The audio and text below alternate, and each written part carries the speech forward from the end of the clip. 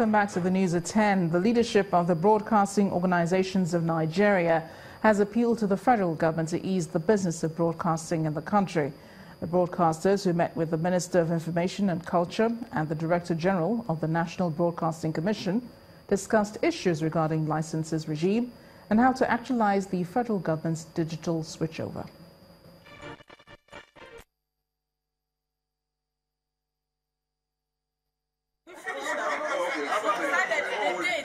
The chairman of the Broadcasting Organizations of Nigeria, BON, Mr. John Momoh, leads other members of the organization to a joint meeting of the Minister of Information and Culture and the Director General of the National Broadcasting Commission in Abuja. The meeting is at the instance of BON to discuss issues that affect the business of broadcasting in Nigeria, including the licensing regime and the federal government's planned digital switchover. Video cameras were only allowed at the opening as the meeting goes into closed doors. Some moments after, journalists are re-invited for the outcome of the meeting, as the chairman of BON, Mr. Momoh, highlights the issues discussed, including how to make the planned digital switchover work. At the instance of uh, our members, as BON chairman, I had sought uh, to the audience of the minister uh, so that we can let them know that there was a lot of hemorrhaging in the industry and that a lot of our members uh, were finding it very difficult uh, to operate. Um, we also raised a couple of concerns that we had and uh, cleared some misconceptions about uh, the DSO. And I must say that we have a very good picture. Uh, we had a, a, lot of agreements in terms of uh, working with us to ensure that we uh, do not have a situation where we we will not be able to operate as uh, broadcasters. Um, and to uh, say that uh, we're going to be living here um, with smiles on our faces will be an uh, understatement. I think we're very happy, uh, but it's, it's work in progress. Uh, it's a good meeting. While describing the meeting as a success, uh, both the Minister of uh, Information and Culture and the Director General of the NBC emphasized the need for government to work with BON and save the broadcast industry. The entire meeting is to ensure the survival of the industry and to ensure that the industry thrives. Uh, the good thing about the meeting is that both sides, both the regulators government on one side and the broadcasting organization, uh, we come to the conclusion that we need to work together to save the industry. From the position of the regulatory institution, we're very clear about the fact that our relationship with broadcasting organizations of Nigeria is very central to the health of our industry. And the issues that were raised today and which we attempted to, to clear one after the other, uh, just strengthen our, our resolve that we need to work together to sanitize our industry and to assist the industry to grow. Broadcasting is very central to national development. And the kind of work that our broadcasters are doing uh, over the last couple of years uh, has, has shown that Nigeria uh, has tremendous potentials that we're also gradually beginning to fulfill. If the assurances from the federal government and the regulatory agency to work with the broadcasting organizations of Nigeria is anything to go by, then it is within the reach of investors to unlock the rich potentials in the business of broadcasting in Nigeria.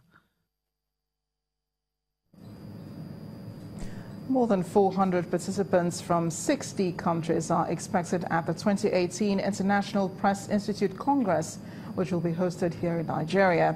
And ahead of the program, members of the local organizing committee had a meeting with media professionals in Lagos to brief them on plans on the ground and expectations from them. A member of the committee, Malam Ismaila Isa, says the Congress will project the country in good light. When we attended the meeting at Washington where we signed the memorandum of understanding, we told them, you have embassies in Nigeria, ask your embassy whether Nigeria is safe for you to go or not. We are Nigerians. We are over 180 million. We are there. So why somebody think Nigeria is not a safe place. There is no country in the world, in most cases, that do not have some problems. And it not be magnified the way and manner they are magnifying our own, as if everywhere is not safe. And bringing the world media, the entire world media into Nigeria in June next year, God willing, it means a lot to this country. Beside the reassurance you will give the world community about our country, you are reopening the country to the outside world. An emerging player in the Nigerian lottery market is offering Nigerians a lifeline to be more adventurous with its Dream and Win lottery promo. At a banquet in Lagos, where the logo for the Prima Lotto is unveiled, the chairman, Mr. Mario Camilleri, explains that Prima Lotto is ready to change people's lives as well as perception of lottery in Nigeria. It's a night of fascinating dots of razzmatazz with a huge bounty for those who love to take chances and win big. The Nigerian Lottery Regulatory Commission is redefining the game of lottery with fair play and transparency. Those two ingredients that are really key to the success of a lottery integrity and transparency we are bringing to bear to this business. As Tati Prima Lotto comes into the Nigerian market with its offer for Nigerians to win more, it's engaging with the online population to participate. Tati Prima Lotto says it is not just raising revenue but giving back to people's lives. To us, lottery is far more than just paying our price and generate revenue. It is also about giving back to the community through taxes, good causes funds, and corporate social responsibilities.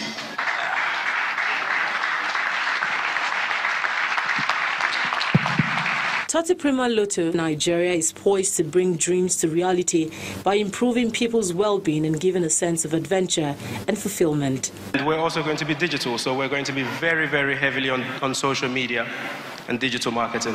A pilot exercise of the lottery is held, and the winner goes home with a million naira. Someone's life has just changed right here today at the Totti Prima launch. Ladies and gentlemen, our very first winner. Keep the applause. The management of Totti Prima Lotto is also looking beyond the game of lottery to really touching people's lives.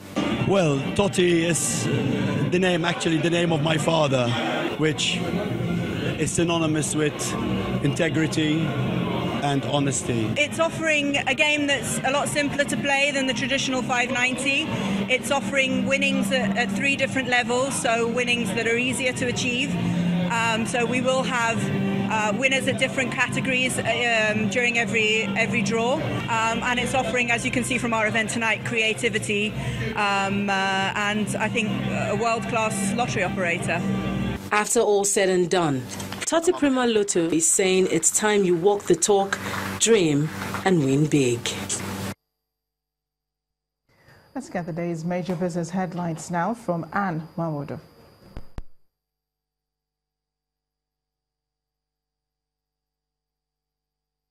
You first. First Bank.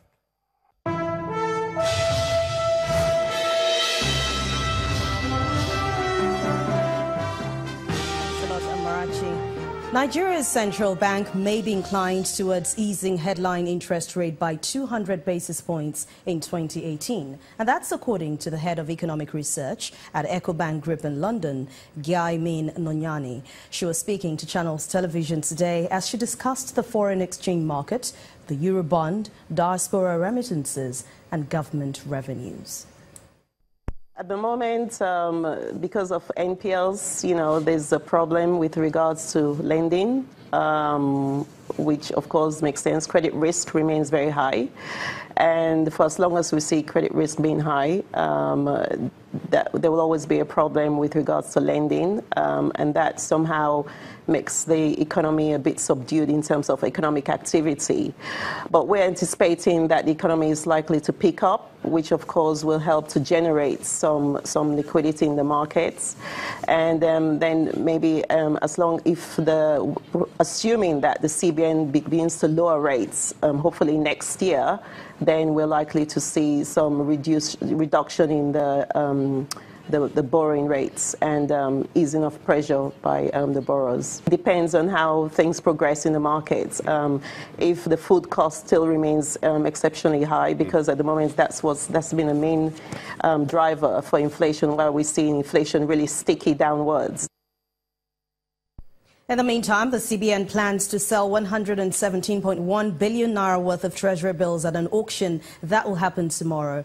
26.1 billion naira will be offered in a three-month paper, 11 billion naira will be offered in the six-month bill, and 80.03 billion naira will be offered on the one-year note. Results of this auction will be announced on Thursday, November the 30th. The CBN issues treasury bills twice a month. This is just to help the government finance its budget deficit reduce money supply growth, and provide an avenue for lenders to manage liquidity. The local stock market recovered sharply by more than half of a percent at the close of today's trading after the brief 31 basis points drop in Monday's session. To tell us more about this is Chimezie Obiwago.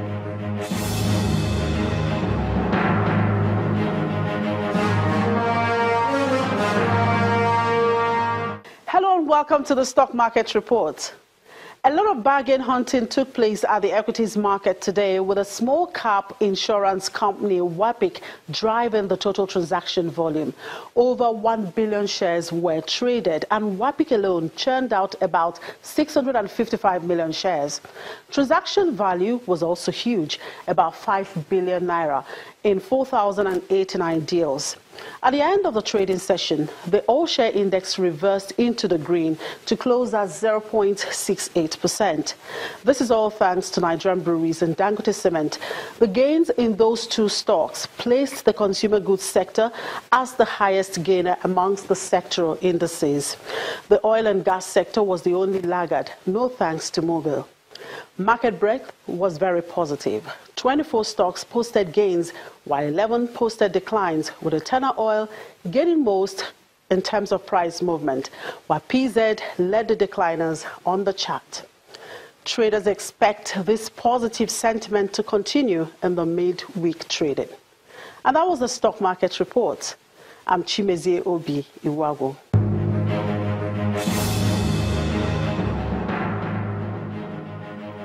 While U.S. and European stock markets also closed today all positive as investors digested individual stock news and comments from the Federal Reserve Chair nominee Jerome Powell. But let's see how other markets fared today.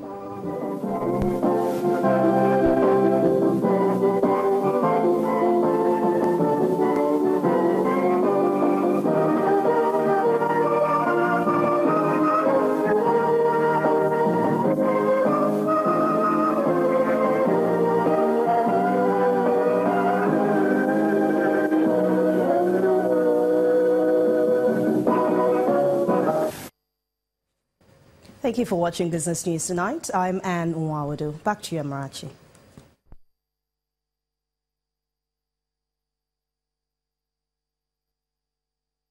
You first. First Bank. Thanks a lot, Anne. Still ahead of the news at 10. CAF to use video assistant referee for the first time at the African Nations Championship next year. More coming up in sports news. Stay with us.